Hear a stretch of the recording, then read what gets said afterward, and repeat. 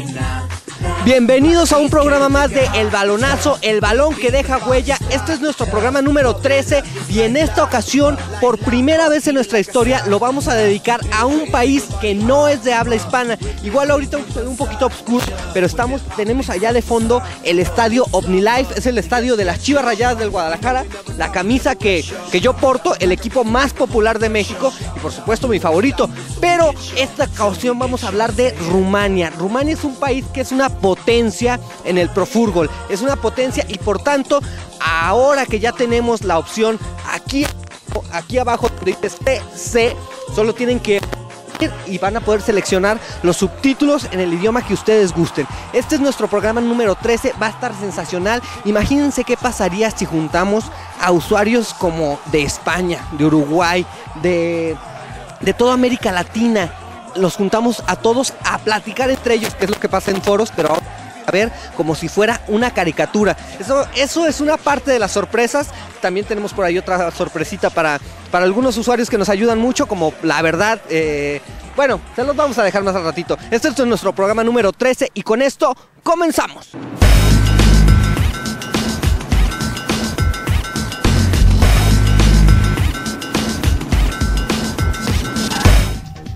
Saludos a todos nuestros amigos de Rumania y un saludo a todos nuestros amigos de todas las partes del mundo que nos visitan. En esta ocasión ya rompimos récord de audiencia y hemos sido vistos en 40 países, así que ya saben, si lo vieron en ProFútbol, se entera todo el mundo. Y ahora vamos a hablar un poco de la historia de las selecciones rumanas en ProFútbol.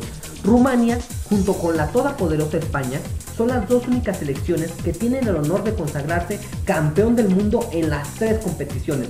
Ya con esto se dan una idea del poder que tiene el Pro Fútbol en Rumania. Sin duda fue un proceso gradual, el cual comenzó a gestarse en la temporada 4, con un campeonato mundial con una selección de solo 19 años de promedio.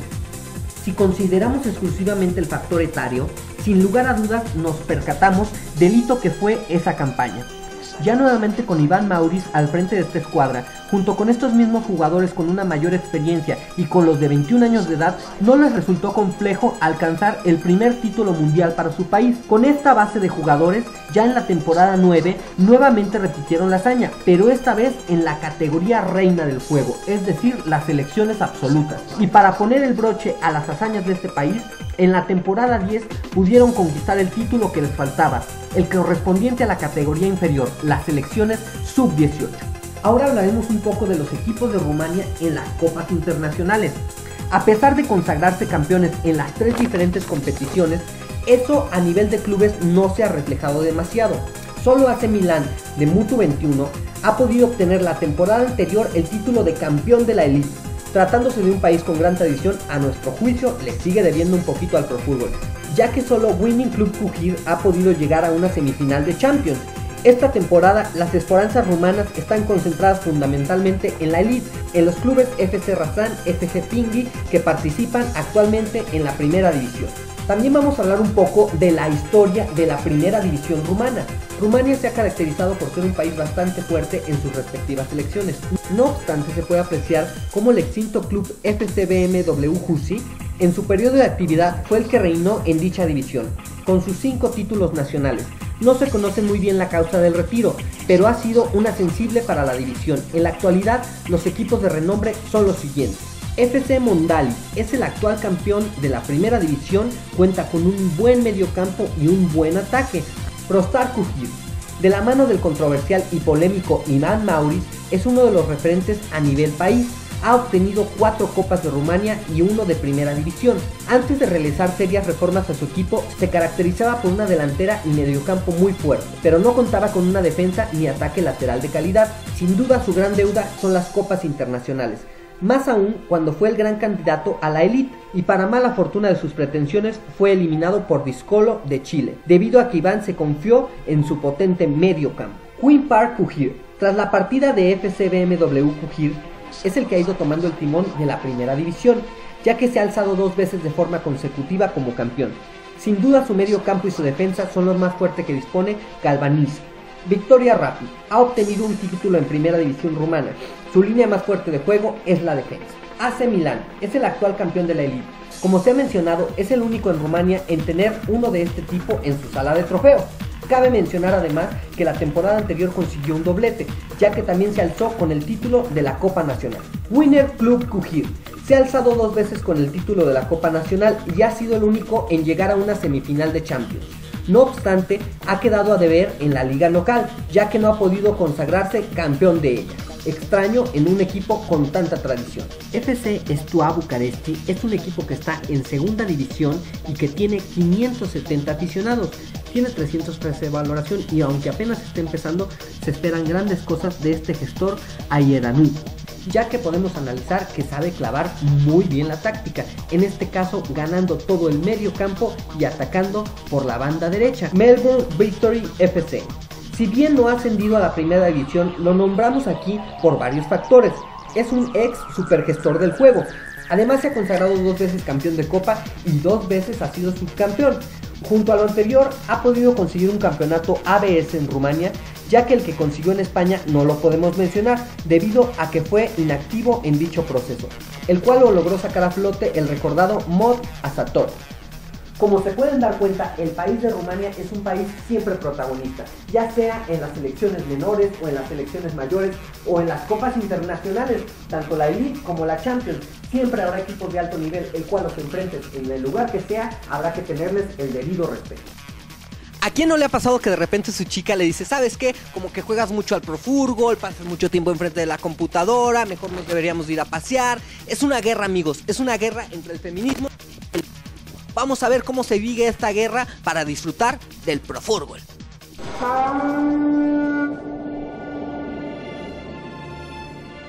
Nos costó mucho llegar acá. ¿Quieren volver a donde vinimos? ¿Quieren volver a no votar? Ya entregamos los jueves. ¡Es verdad! Entregamos los viernes. ¿Alguien quiere entregar algo más? Miren esto. Estoy con mis amigos. Te amo. ¡Caradura! ¿Te amo o estoy con mis amigos? No me sorprendes, me dijeron anoche. ¿Pero qué soy? ¿Un lateral por izquierda? ¿Un mago? ¿Desde cuándo? Nosotras estamos gordas y en ellos la pancita es sexy. El novio de mi amiga le regala flores. El novio de mi amiga la lleva al teatro. ¿Está acá el novio de esa amiga? Cuando bailan con nosotras parece que le pusieron el cepo. Ahora cuando bailan con los amigos son todos piquín. ¿Cómo es la historia? El hombre llegó a la luna. Y ahora no podemos llegar a las 10 de la noche que tenemos flor de despelote. ¿Hay alguna sumisa acá? Cuando estás con tus amigos te cambia la cara. Cuando estoy con vos me cambia la cara. Con mis amigos tengo la original. ¡No esperemos más! ¡Que nos vengan a buscar!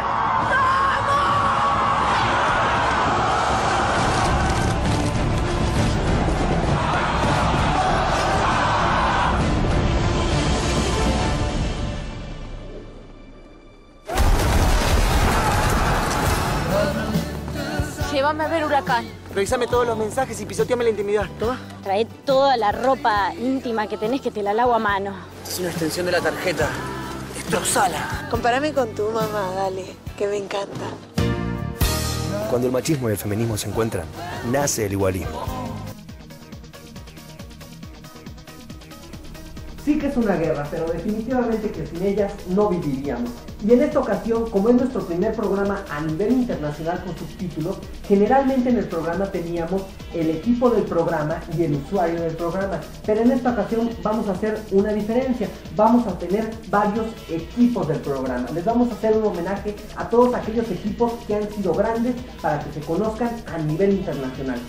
Y vamos a comenzar, por supuesto, con uno que lo consideramos muy, pero muy, muy grande, que es Pacar. Es sin dudas el mejor manager en la actualidad y de la historia del juego. Con sus 7 títulos en liga y sus 3 copas nacionales, lo transforman en el amo y señor del país más fuerte del mundo, es decir, España. La temporada pasada cumplió la deuda que tenía pendiente con el juego, ya que por fin se pudo alzar con el título de la Champions. Real Murcia, Solo ha obtenido una Copa Nacional y un título de liga, pero todos sabemos lo difícil que es competir contra el Gran Pacal. Además cuenta con un título internacional, dado que consiguió la Elite en su primera edición. Coxuela. Es tres veces campeón de liga y dos veces campeón de la Copa Española, siendo el actual monarca de dicha copa. Se le conoce por su gran ataque lateral, que debe ser el mejor del mundo. No obstante, no ha podido consagrarse campeón en títulos internacionales, lo que transforma esa faceta en su gran deuda pendiente. FC Humor Bomben, que él dice que debe su nombre porque él es una bomba de humor. Es el dominador en Alemania. Se ha alzado con 5 copas nacionales y 5 ligas. Además ha sido campeón de la Champions y el último subcampeón de ella. No obstante, sus participaciones han sido bien polémicas, ya que juega con el controversial 5-5-0 todo en defensiva, apostando su fortaleza por supuesto a su defensa y a su gran portero. Creemos que para ser un gran campeón debe también demostrar que hay facetas del juego y no solo jugar escondido con ese esquema ultra defensivo. Jardins Paredes Quizás no es el que ha obtenido más títulos en Portugal, pero se aprecia un equipo que puede dominar en el país luso. Es el actual campeón de liga y subcampeón de copa. Seguramente en la presente temporada resultará campeón de alguna de las dos competiciones. No obstante, los representantes lusos se han caracterizado en no darle importancia a las copas internacionales, pero consideramos que Mod Tuga puede ser el embajador de Portugal en el campo internacional. Rita Sulter este equipo lituano en sus tiempos fue el gran dominador del Pro a nivel internacional, beneficiado de una competencia a nivel local pobre y débil. Podría disponer de un rico plantel a nivel internacional, ya que tenía la disponibilidad de disponer de sus jugadores con la forma a tope. Así pudo consagrarse campeón en la primera Champions. Hoy en día es prácticamente un equipo semibot, desconociéndose la razón por la que dejó el juego. Millonarios. Compite en Argentina, es el amo y señor de este país, aunque no pudo conseguir la última edición de su liga. Su manager Rodrigo, a pesar de estar al frente en cuatro mundiales, jamás pudo pasar la barrera de los cuartos de final, siendo un gran fracaso para él y para su país. Junto con lo anterior, también cabe mencionar que tiene la deuda de nunca ascender a una final internacional, ya que en las dos ediciones que arribó a la semifinal fue eliminado por Culotanga. Y para cerrar con broche de oro, Cobrelex. Este cuadro chileno jamás ha perdido un título local, ya que desde que arribó a las tierras chilenas, nunca sus rivales le han podido robar ni siquiera un título. A nivel de copas internacionales, sus inicios fueron mediocres si se toma en cuenta su potencial. Pero en la tercera edición de la Champions, por fin pudo concretar ese tan anhelado campeonato. Y cabe mencionar que Cobrelex es el usuario con más aficionados en todo el mundo del pro. Y como ya lo habíamos anunciado, les tenemos una gran sorpresa. ¿Qué pasaría si de repente hacemos caricatura a algunos de los usuarios más activos en los foros? Por ejemplo, ¿quién sería Pablo? Que por cierto te mando un saludo amigo. ¿Quién sería Polero? ¿Quién sería Tío Pepe? ¿Quién sería Redskin? ¿Quién sería pues Cristian? Muchos otros. Esto es lo que nosotros nos imaginamos que serían si fueran caricatura. Después vamos a ver una pequeña parodia y pues esperamos que se diviertan sin el afán de ofender absolutamente a nadie. Estos son los Furgol Cartoons.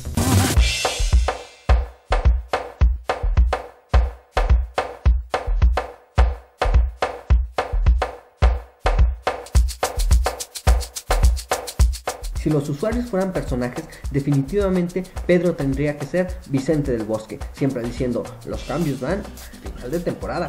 Por el lado del Madrid, Mourinho tendría que ser definitivamente Redskin. Está de más explicar el porqué. Kaká seguramente sería Eric de Almera City. El siempre sobrio Casillas tendría que ser Tío Pepe. Cristiano Ronaldo, ¿qué otro podría ser? Cristian, siempre diciendo, voy a ganar con la selección U21 de Uruguay, nadie podrá derrotarme, soy el mejor. Osil tendría que ser Leto de Brasil, porque nunca se le entiende su español, pero siempre está opinando en todo. Sergio Ramos tendría que ser Papayox, sobre todo porque Andrés dice que es un despistado. Por el lado de Barcelona, Guardiola tendría que ser definitivamente Daniel de Cobrelex, que es el jugador más ganador en todo Pro Fútbol. Yo pondría como Messi a Muflón. ¿Y qué me dicen de Javi Hernández? Tendría que ser polero, siempre poniendo el orden cuando se tiene que poner orden. Javi Alonso, siempre sobrio, tendría que ser Pacal. Yo creo que Villa se lo daríamos a Rodrigo de Millonarios. Piqué lo tendría Tony. Mm, a mí me dijeron que le asignara ese personaje, yo no sé.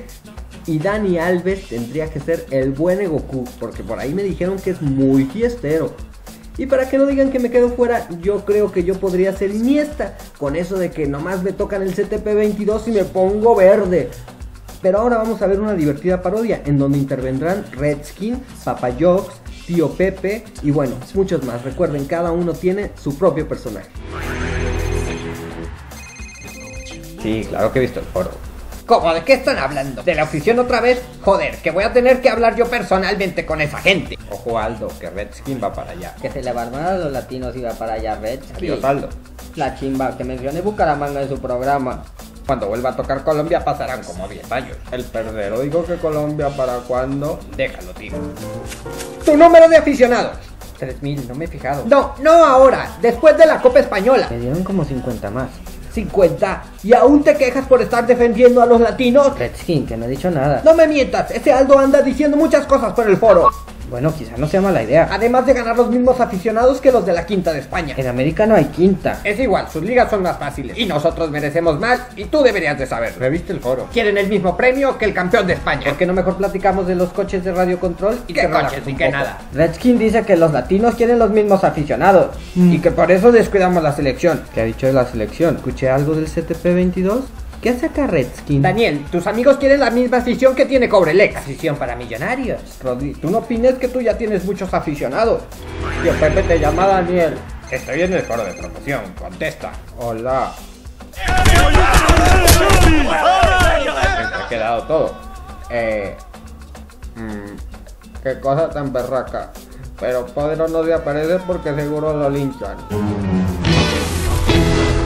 Desgraciadamente ya no nos quedó mucho tiempo en el programa, pero no quiero irme sin decirles que no dejen de visitar los mundiales. La verdad es que están muy emocionantes, acaban de llegar ya a su segunda etapa, así que por favor no se lo pueden perder tanto el mundial U21 como el mundial U18 que están en su máximo esplendor. Y para todos aquellos que gustan aprender un poco de estrategia, no se pierdan la Liga Champions, donde pueden aprender, basta con que pongan algún partido para que ustedes apliquen un poco de estrategia. Todos estos son grandes estrategas, sin duda van a aprender bastante de cómo poder jugar un poco mejor.